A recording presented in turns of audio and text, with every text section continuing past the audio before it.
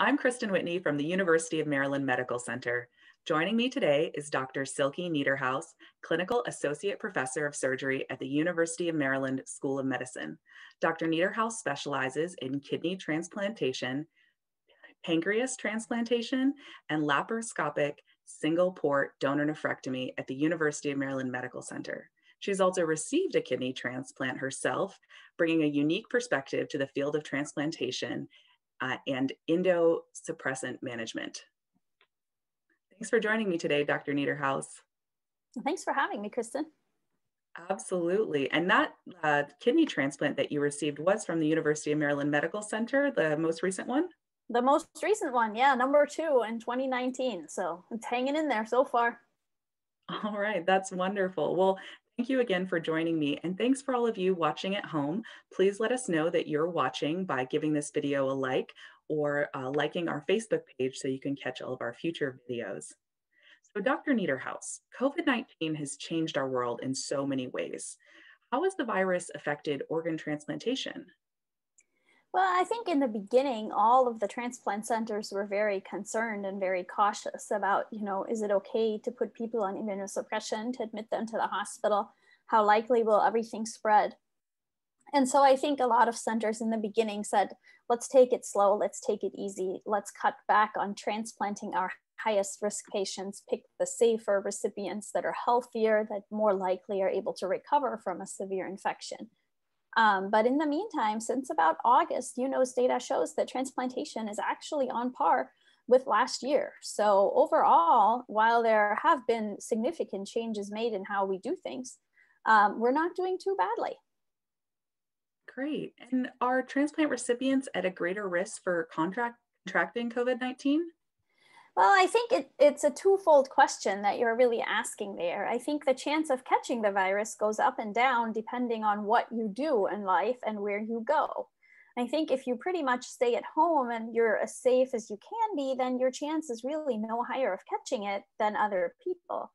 However, the chance of getting significantly more sick from the virus if you get it definitely is a concern for transplant patients. And are living donors at a greater risk for contracting COVID 19? No, not at all. They don't have any risk factors at all. They're probably among the healthiest people in the country. So I'm not too worried about that patient group. That's wonderful. Um, in our introduction, uh, I mentioned the single port donor nephrectomy.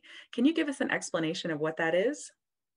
Sure. Um, a lot of people these days are familiar with laparoscopic surgery which some people refer to as chopstick surgery, where we use really long, thin instruments through tiny little holes that are a half inch or less size in the abdomen that heal up really nicely. They cause less pain um, and allow people to recover from surgery better. And then also the incisions look nicer.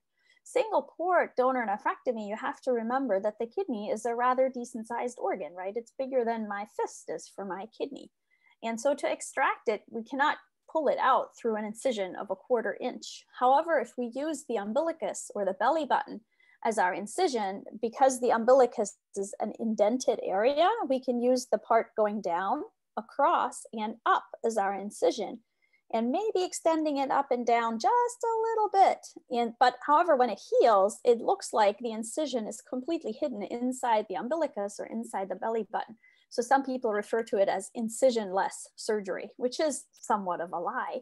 However, people really like it because the result cosmetically is very appealing and the recovery from surgery is quite nice when your incision is, you know, the size of a band-aid. Absolutely. Um, I understand that UMMC transplant is taking extra precautions to ensure patient safety during the pandemic. Can you share with me some of those extra steps that UMMC transplant has been taking? Sure. Um, in the beginning, we changed around what we do for immunosuppression for some time, but now we figured out that actually it's quite okay to give people normal immunosuppression protocols. All of our transplant recipients before they undergo transplantation are tested for COVID-19 to minimize the chance that they have an infection going into the operation. And then um, our transplant floor, where our inpatient um, transplant recipients stay, is a COVID-free floor. So if any transplant patient contracts COVID, either outpatient or you know inpatient, which I don't know that that's really happened that much, um, those patients then are roomed in a different location so that you know there's no transmission from patient to patient for COVID-19. Um, the other thing that we've done a lot more of is telemedicine, both for our transplant evaluations and for our follow-up visits after kidney transplantation to keep people home as much as possible. So that's a great lead into my next question. I was going to say that the Transplant Center at UMMC has been offering telehealth medicine appointments for some years now, but I was hoping you could provide a little um, insight into how and why those appointments appointments came came about and why they're now more important than ever.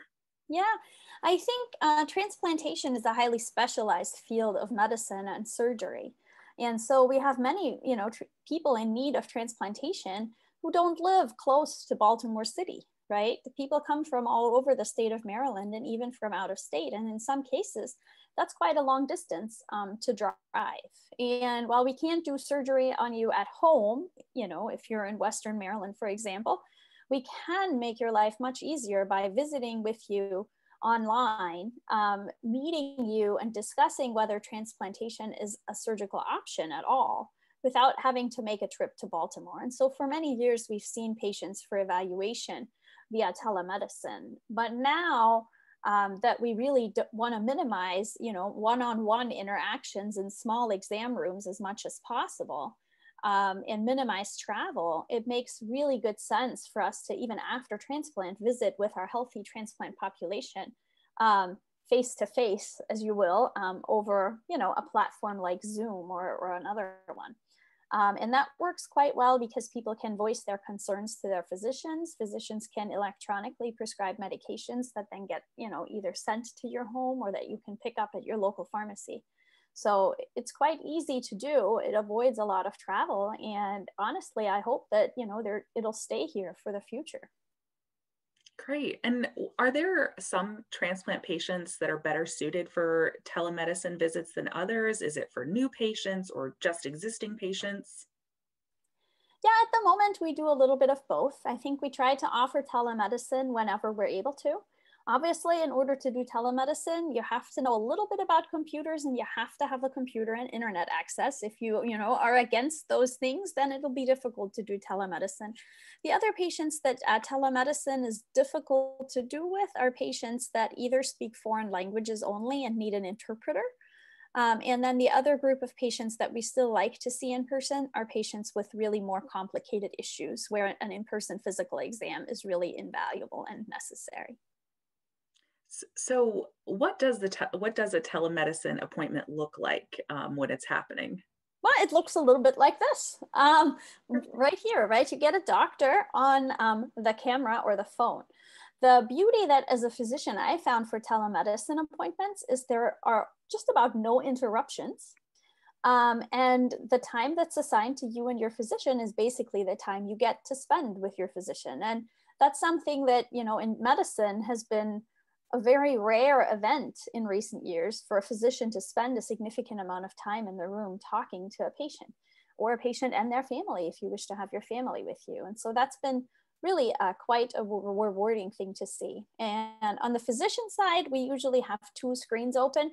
We put your you know picture in on one side, and then we have our, our record, our medical record documentation on the other side, and we, we type as we go. So wonderful. And you mentioned um, previously, be, you know, having a computer or a smartphone. Is the technology needed for telemedicine challenging to use? Well, I think it depends on who you ask, Kristen. I That's think if true. you ask my seven-year-old, he'd be like, "Well, this is easy, no big deal, right?"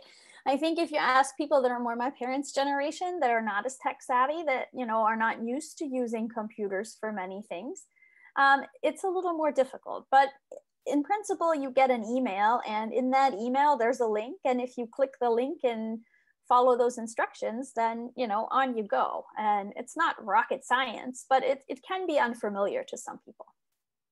Wonderful. And I'm sure one of our nurse navigators would be more than happy to assist um, any patients with challenges that they're having in that area. Oh, absolutely. And, and this is something that actually happens a good bit where, you know, it takes a minute or two for people to log on. And if there are difficulties, you usually can expect a phone call um, from either one of our nurses or from one of our assistants to talk you through the steps and get you where you need to go. Dr. Niederhaus, are telemedicine visits covered by insurance and Medicare and Medicaid? Absolutely, they are. So that is not something you'd have to worry about at all. And if someone has a telemedicine appointment scheduled, um, but they're unfamiliar with the process, are they able to have some assistance? Absolutely. Yeah, definitely. We have, you know, nurse coordinators that work with us and you can contact them for any questions that you have. And then generally whoever scheduled the appointment, usually that was would have been sent to you by email. You feel free to just email them back and say, "Hey, I have a question." And there's usually a phone number there too, so you have multiple different ways to get a hold of people. Wonderful. Well, thank you again, Dr. Niederhaus. And we did receive some questions from the audience on Facebook. Um, Matilda from Essex asks, I'm awaiting a transplant. Could I get COVID 19 from my donor?